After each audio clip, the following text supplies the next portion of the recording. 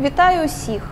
Я Ірина Радченко, і сьогодні ми розглянемо життя та творчий шлях видатного польського е, історика, громадського діяча Еммануеля Рінгельблюма. Еммануель Рінгельблюм народився 21 листопада 1900 року в місті Бучач на Тернопільщині. Його мати рано померла. Батько, хоча і не був релігійною людиною, вирішив відправити свого сина на навчання до місцевого хедеру. А також Еммануель закінчив початкову школу в Бучачі та почав своє навчання у місцевій гімназії.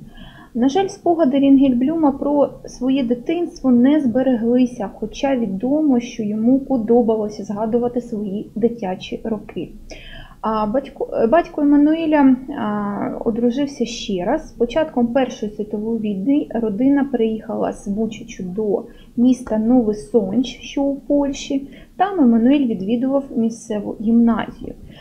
Його однокласники називали його Едиком чи Едзею. А вже в 1920 році Еммануель склав випускні іспити. Можна сказати, що роки, проведені в місті Новий Сонч, започаткували його політичну діяльність. Там він приєднався до молодіжної секції партії Поліціон, з однієї з фракцій якої він залишився пов'язаним до кінця свого життя. Завдяки своїй політичній діяльності він зустрівся зі своєю майбутньою дружиною Єдітою Херман, яка була також членом цієї партії Поліціону Польщі. А в 1930 році у подружжя народився син Уріель або Урі. А у 1920 році Еммануель обрав місце для вивчення медицини в університеті Варшави, проте через він не отримав підтвердження через існуючі на той час квотні обмеження, так звані numerus clausus. А за декілька років він вирішив присвятити себе вивченню історії. І в 1927 році він захистив кандидатську дисертацію з теми євреї у Варшаві з ранніх часів до 1527 року. Та рік по тому він отримав диплом вчителя вищої школи. Еммануель почав працювати у приватній гімназії для єврейських дівчат Єхудія, де зустрів Абрахама Левіна. Пізніше той стане одним із членів Онег Шабат. Рінгельблюм припинив викладати у 1938 році, тоді вирішивши присвятити себе вже соціальній роботі. А з 1930 року він співпрацював з енциклопедією Юдайки у Німеччині, де видав близько 30 монографій щодо історії єврейських громад у Польщі. Зусиллями Рінгельблюма було сформовано такий певний семінар з історії євреїв у Польщі, реформований декілька років по тому на товариство молодих істориків під патронатом ІВО або Інституту єврейських досліджень у Вільнюсі. З 1929 року це товариство діяло під назвою Варшавська комісія з єврейської історії. Взагалі, на думку деяких дослідників, Рінгельблюм був не лише досліджував минуле, але також займався популяризацією знань. Він був впевнений, що історія єврейської громади є невід'ємним та вирішальним елементом комплексної історії Польщі. Рінгельблюм мав виключний талант з управління та не здавався навіть під впливом найскладніших обставин. А завдяки власним можливостям він намагався допомогти іншим людям. Його діяльність у поліціон сформувала в ньому таку глибоку відданість дослідженню єврейської історії, любові до мови їдиш, прихильність до єврейських мас і сильне почуття самовідповідальності. А так він турбувався популяризацією саме їдишу. Вже у школі він переконував своїх друзів, розмовляти цією мовою. А у середині 1930-х років він зробив певний внесок у кампанію підтримки ідеї організувати світовий конгрес культури мовою їдиш у Польщі. Наприкінці 1930-х років він був- співробітником джойнту, залучений був до різних ініціатив цієї організації, передусім забезпечення допомогою 6 тисяч польських євреїв, вигнаних з Німеччини, та які перебували у транзитному таборі у місті Збажин. Рінгельблюм провів там близько п'яти тижнів. Е, Той досвід соціальної роботи був дуже корисним для нього у його подальшій діяльності.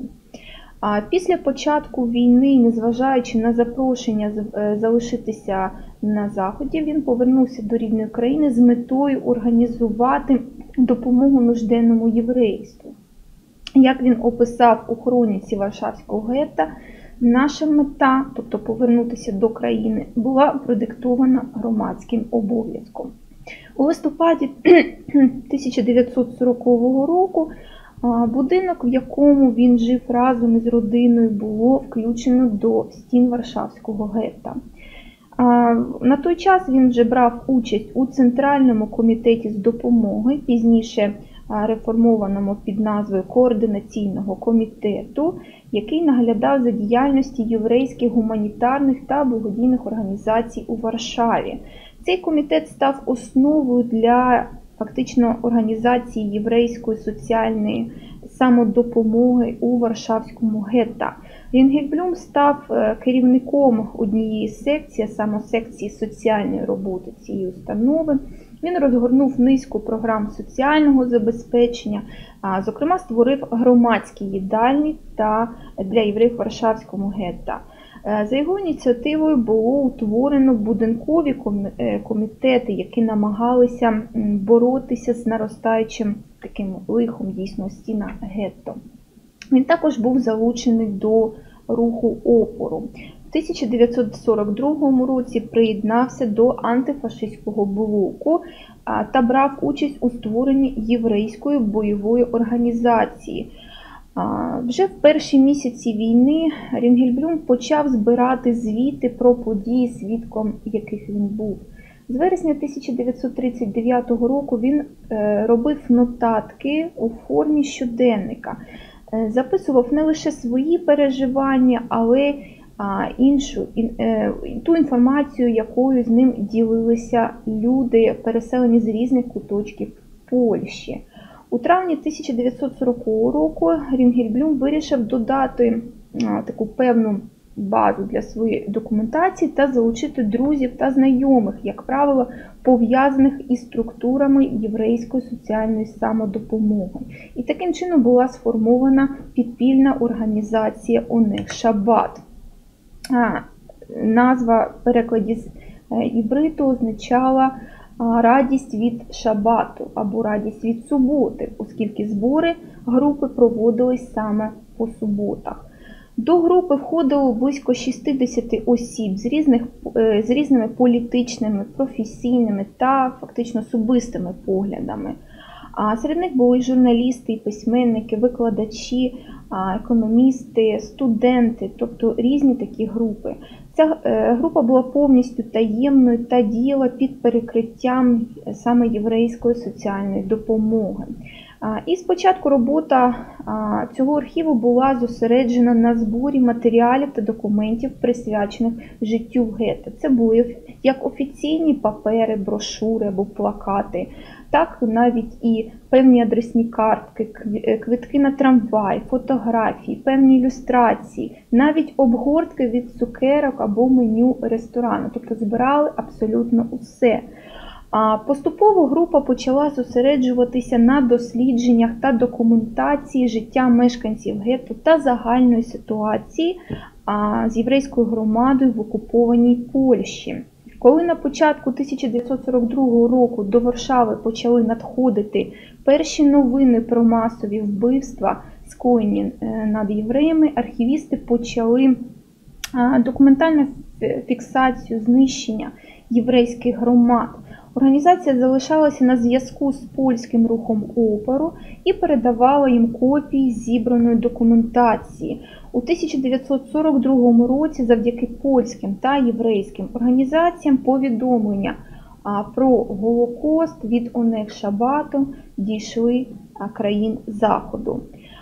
Після великої депортації 1942 року настрій у мешканців гетто різко змінився, і, зокрема, спостерігалася рішучість надати спротив нацистам. Багато членів ОНЕГ Шабата брали участь у підготовці повстання у Варшавському гетто у квітні-травні 1943 року. Зокрема, у своїх польських та інших бюлетнях Онег Шабат попереджав польське єврейство про майбутнє знищення, закликаючи євреїв воювати проти нацистських окупантів.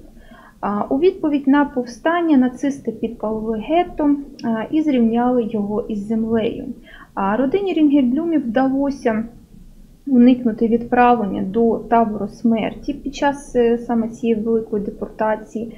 І всі, е, всі троє членів родини опинилися у бункері під назвою Крися, який належав ем, будинку, який належав родині Вольських знайомих Рінгельблюмів.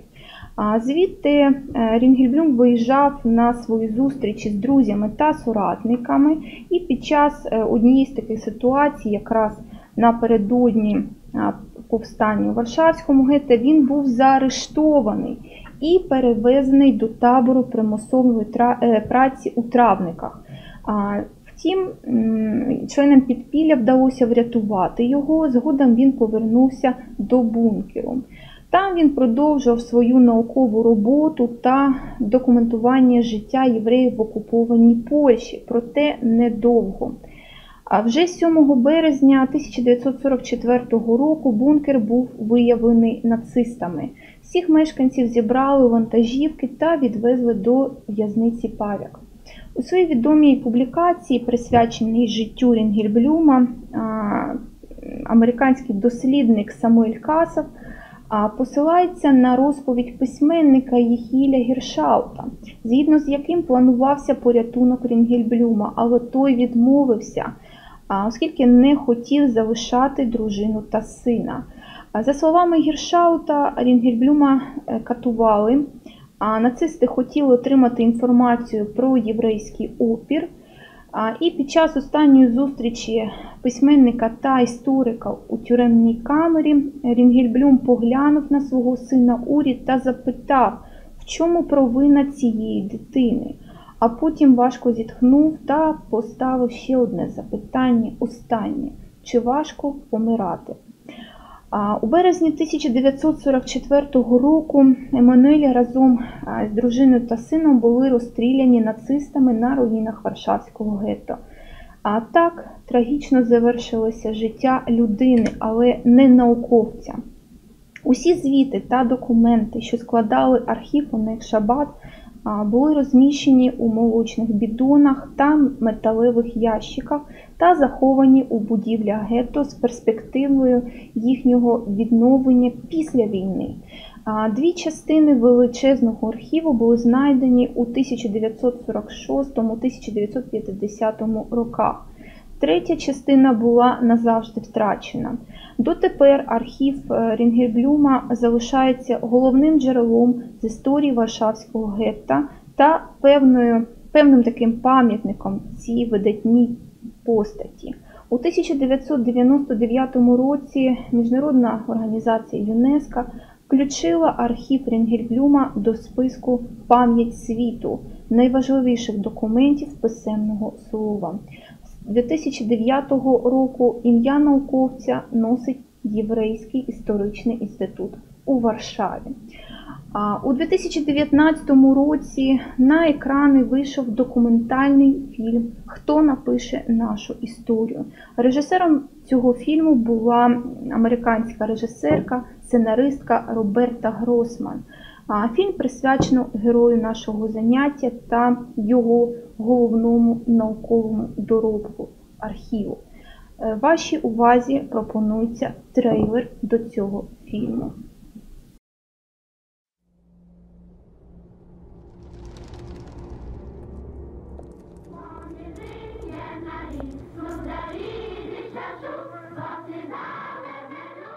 Somewhere Years ago, there was a mother who knew that her son was the cleverest, the most talented, the most beautiful.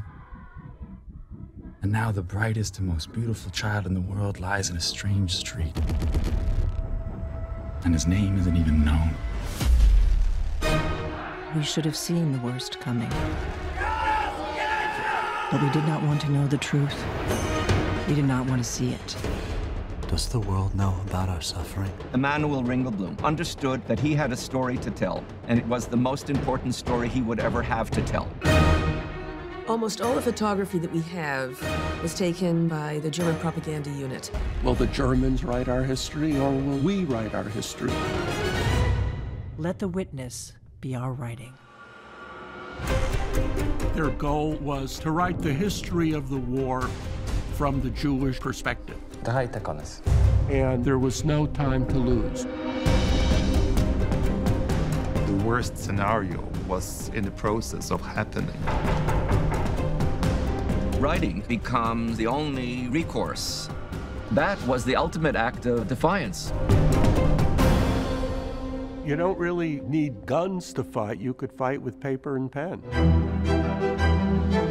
This is what made this collection of documents so absolutely unique. One thing is clear to all of us our devotion and constant terror have not been in vain among those taken away. Про свій науковий доробок Еммануель Рінгельблюм писав наступне: нашими зусиллями ми можемо домогтися того, щоб жоден факт про єврейське життя в цей час і місце не був утриманий від світу.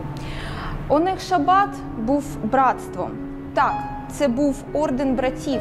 На своєму прапорі ми вписали наступний девіз: будь готовий до жертви, будьте віддані один одному і служіть суспільству.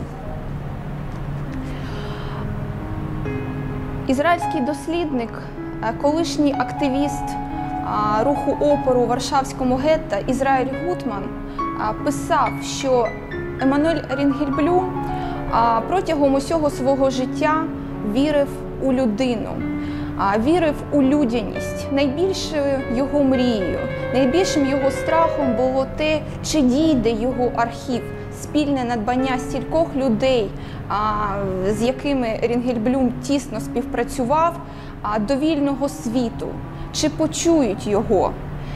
І як ми знаємо, остання воля Рінгельблюма була втілена у життя. Наше заняття добігає кінця. Слідкуйте за анонсами наших наступних онлайн-занять на сайті Музею пам'яті єврейського народу та Голокосту в Україні та е, сторінках у соціальних мережах. Бережіть себе. До побачення!